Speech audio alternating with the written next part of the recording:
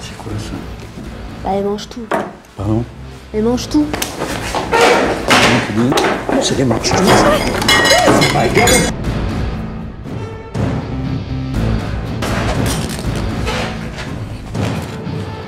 Suite Noire, épisode 2, tiré sur le caviste. Dimanche 5 avril à 20h sur Eurochannel.